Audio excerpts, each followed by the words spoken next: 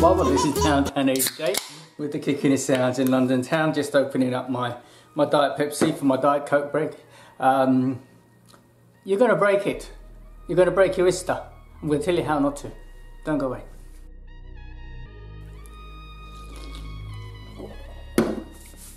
I think I'm good in black. I should wear black more often. It's very slimming. I think I like it.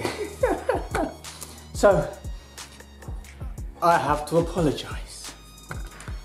This is a bit of a clickbait thumbnail, uh, but but bear with me. I'm trying to make a point here. I had, and I totally forgot now. I have A piece of paper is upstairs in my bedroom. Um, one of my uh, posters on my one of my uh, my threads asked a relevant question about ISTA, and uh, in my many years of working with ISTA and on BMWs and stuff, no one's ever asked that question, and it's a relevant question. We just maybe assume. So the question is, well, what do you think? 50-50 chance you're going to break ISTA? You're going to brick your car? You're going to break your laptop? Well, there are three things involved here. Computer, BMW, and ISTA, and they're all kind of connected. First of all, if you remember back in the day, um, and I'm talking about really, really, really back in the day when you had hard drives and servers with uh, uh, big monstrosity things, you had to shut them down in a certain way. You had a special shutdown procedure and it allowed all the systems to shut down properly. It allowed the hard drive, the hard drive is like a, a number of disks which are spinning and each one has got like a, a reader and what happens it, it takes it it parks the head. Used to have a used to have a command to park the head. It's similar to uh, USBs uh, and if you have a USB drive you can right click and say um, what's the word now I'm looking for? Remove safely that's it remove safely. So you can actually remove it would cause corruption. So this was a thing right? This also then worked with laptops as well, the older laptops, is before you put your laptop away, even though you were moving it around, you had to shut it down and it would essentially park the, the, the drive, the, the, the head, uh, the, the read in the head, so you wouldn't crash. So when you started the machine up, crash is actually a term where it means the head hits the drive. It crashes into the you know into the plastic in, in round circular plastic like like a cd that's where you get the term crash from or that's where it originated from okay? So you had to do that kind of thing. Now move forward to say windows 7 10 and 11 okay? So windows is such a program that now generally speaking you know really that people are going to just shut the machines off, right? And they've got certain ways that even if you shut down the machine, it will take a little bit of time to shut down. You notice if you ever hit shut down Windows, it'll take a while to shut down because it's doing its stuff. It won't just shut down. If you want to force a hard shutdown, you have the button, you press it and keep it pressed, and eventually it will go, and you'll hear the drive go down. Okay? That's not advisable, but generally speaking, there's so many processes, so many things happening in Windows that generally speaking, it's very difficult to break Windows in that in that way. Um, also, uh, sometimes when you have updates, it will say don't shut down until it's ready to shut down. You know, warning because it could corrupt. But even then, I've had machines where people have shut the machine accidentally and they've still been fine. Okay, so why is this shutting down so important? Let me give you an analogy which will kind of bring this into focus. If you think of your the computer's hard drive, right, as a as a book, right? So you have an index, so you say page one, page two, page three, and if you want to say go, if you, you when you pick up a book, usually you look at the index and you go right. I want to look at this bit. Okay, that's on page chapter four, page five. So you turn to chapter uh, chapter four, page five, and you all right, it's there. Now, just imagine that book, right, is just a whole bunch of papers, right? Shutting down Windows by pulling the plug or pressing the button is the same as going whee and throwing the papers and hoping it will fall back in the same place, right? Windows needs to know where each page of information is or which thing thing is. It's called the FAT table, FAT, FAT alloc, uh, file allocation table, FAT. And with the newer machines, it's FAT32, right? Or NTFS, NT file filing system. Okay, I think that's NT filing system. Okay, so it has to know where each file is, right? Each program, each JPEG, each dot text field. And there, if you look at the old um, programs which used to frag, used to run defrag because a, a, a, program wasn't necessarily all in one place. It was built all over the place. So it would go here to there to there to all over the place. So it needed the FAT table to know where it is. So what could happen is if you shut it down without closing the book properly, it may not know where the file is, and then you get corruption. You try to run a program and it can't run it. Okay, that's why, or machines and programs, you have that ability to shut down. Okay, nowadays generally that doesn't happen. Okay, but technology-wise, that is essentially what happens. Okay, now let me get another survey. Right, BMW. Let's talk about that for a little bit. Ista Rheingold Win XP is it XP something Wink Wink Wink P or something? There's a whole suite of programs around Ista.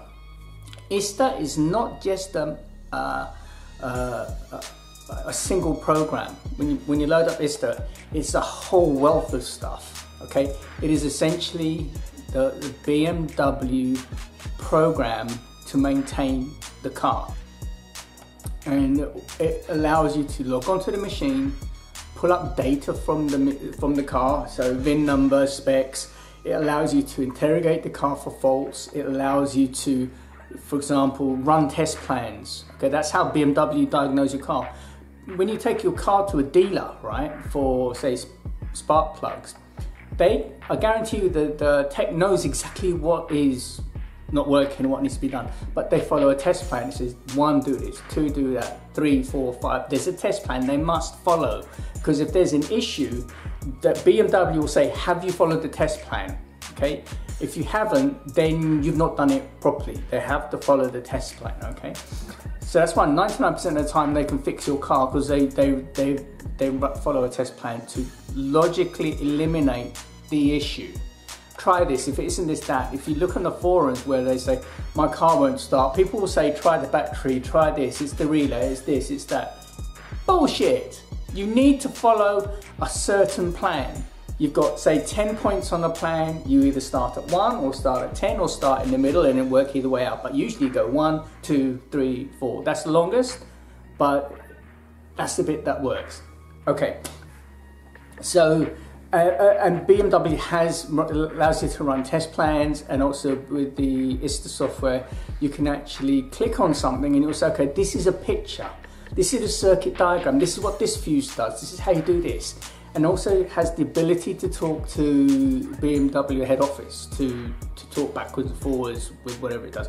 It's, it's just not a manual, it's just not a code reader. If you just want a code reader, go get an OBD2 or Bimmerlink or Bimmercode or whatever, but it's not ISTA, right? That's why every time if you're really serious about your BMW, you need ISTA because it's the only thing you can't do is talk to other things, right?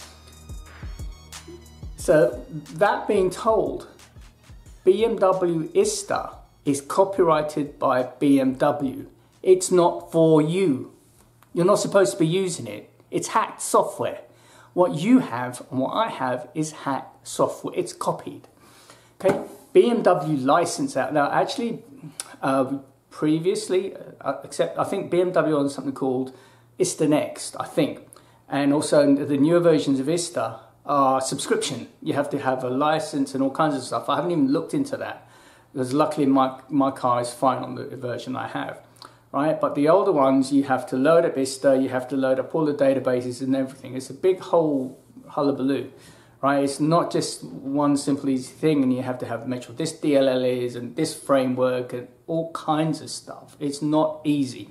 Even me as in being IT tech, I shudder at having to uninstall and reinstall. I just re-image and copy and re-put the image back on again, right? So, um, so this is what what ISTA is. It, it, it's, it's a massive program, and it is copyrighted of BMW. You're not supposed to have it. Okay, well, you can have it, we all have it, but you and me have a copy of the program. It is propriety, propriety, propriety. I can't say the word to BMW. Okay, it's hacked. The only people who should legally and lawfully have BMW ISTA is BMW themselves and licensed people like independents who have bought ISTA. Right now, when you buy ISTA, there's different versions and people make copies and you get it out on the web. That's how we've got it. But it's hack software, right? So understand that BMW ISTA is just for BMW techs to use, right? Let's get on with that kind of point. When you're a BMW tech, you go to a BMW school to learn how to fix BMW cars, right? And yeah, obviously there's other things involved, but that's what it is. And I'm, I'm sure they get learn how to use ISTA. So they say, okay, connect ISTA up and follow this and go here and there and blah, blah, blah, blah, blah. Okay, so they're the ones that use ISTA, right? So when we try to do things on ISTA, we try to, for example, there are certain ways that you have to connect ISTA. Do you know that you have to have a 100 uh, amp power supply connected to your car in order to do the work you need to do? Right? You can get away with it, of course you can. I've got a 45 amp and sometimes you don't even need that. But if you see sometimes on, on a lot of the uh, forums, people say, oh, well, I can do that. I've, I've just connected up a battery charger, my, my battery charger. Or I start the car, leave the car running, or I just use a battery. You're going to brick your car. And there has been so many people who have posted on, um, I'm getting this error, blah, blah, blah. And the first question you ask is, how did you do it? I said, well, I was using the battery charger. And so many people have said, you've bricked it. You're not supposed to do that. So when you go through and use ISTA, when they take the car and they put the charger on. I know this because I've talked to people, right? I've talked to techs. They put the charger on, they get into their version of ISTA and do this and that and the other. Now, while if they do bits and pieces the wrong way, if they happen to screw things up, which is very rare, they can always load, re, reload the car back up. They'll make a backup and they'll load it back up again. If you or me make a mess up and we brick the car, we then have to run to people who know about how to restore the, the files or whatever, re-back up the car. Right? It's a big, big thing for us. But for these techs, it's easy. Oh, I, I blew this. I, I did this. Oh, okay, just reload the car. You know, or whatever it is, right? So BMW ISTA isn't for you and me, right? So if you make a mess up, if you screw something on ISTA, right?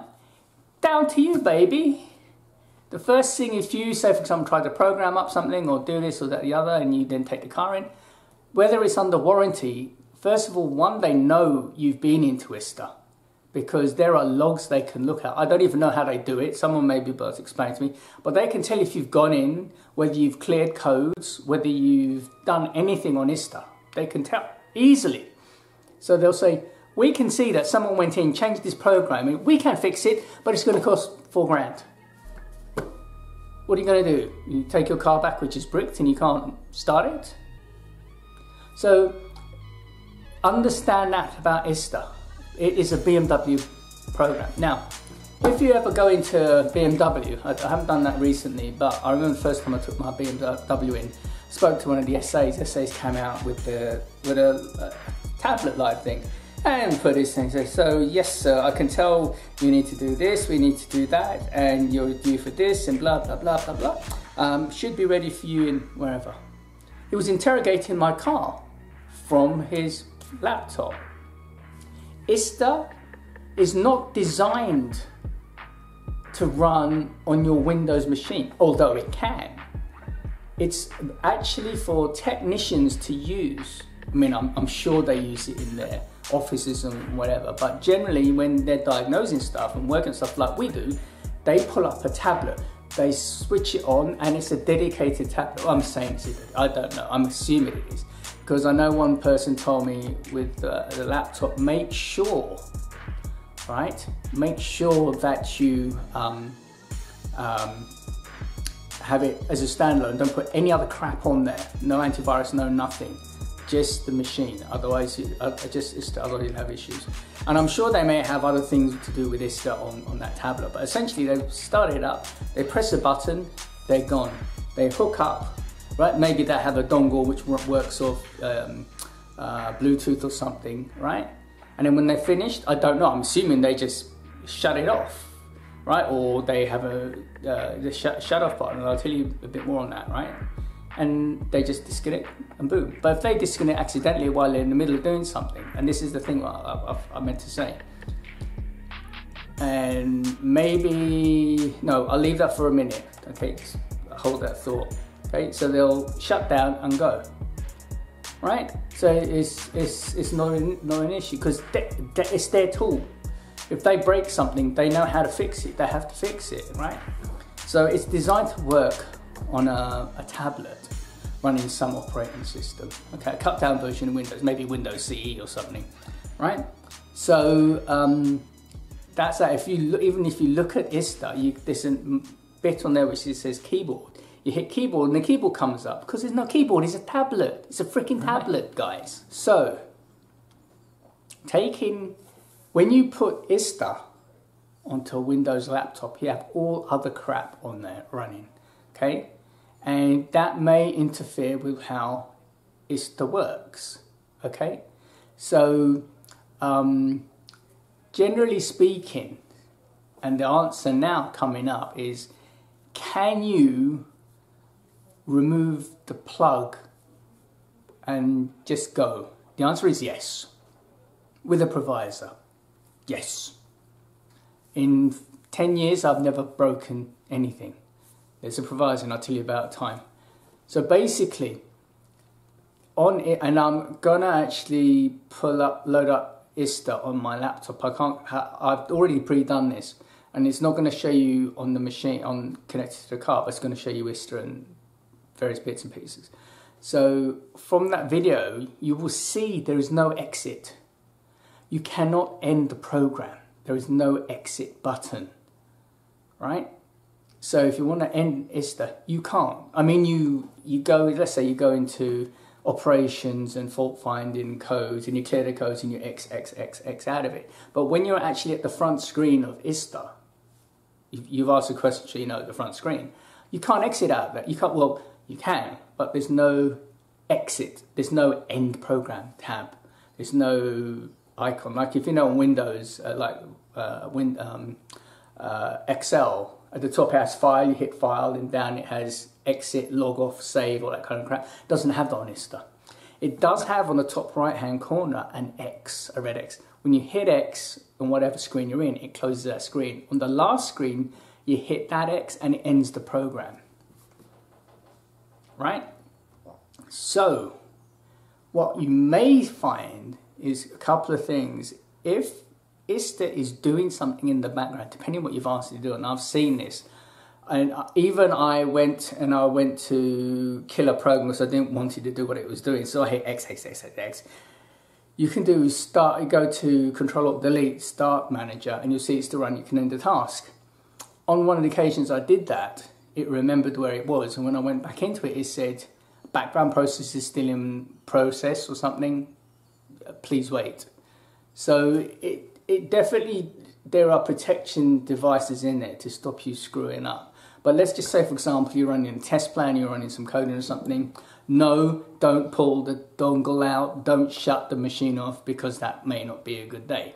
Which is why you want a 100 amp power supply and you want your your machine backed up. And that's why if you're using a freaking phone, you want it on airplane mode, right? People can do all these kind of crappy stuff, right? But if you're not doing it the right way, when things go wrong, then you're going to cry, it, right? You've you've you've trashed your 55 grand's worth of BMW, right? So if it's doing something, generally speaking, if you hit X and try to kill it, it will say, please wait background process in operation or processing the background process running or something. Okay? So in that case, you wait. Once it's done it, it will say it's done on the very, very uh, slim chance that it's crashed, then you have to do a control alt delete and just pray that you're fine. right? So you end ISTA that way, okay?